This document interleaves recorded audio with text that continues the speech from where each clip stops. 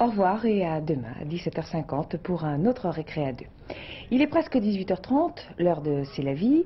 Ensuite, à 18h50, nous rejoindrons toute l'équipe du jeu des chiffres et des lettres. À 19h20 seront diffusées les actualités régionales.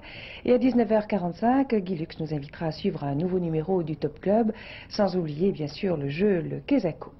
À 20h, c'est Daniel Bilalian qui présentera la troisième édition du journal d'Antenne 2. Mais pour l'instant, donc, voici C'est la vie, présenté par Noël Mamère et Joël Lenulagneps.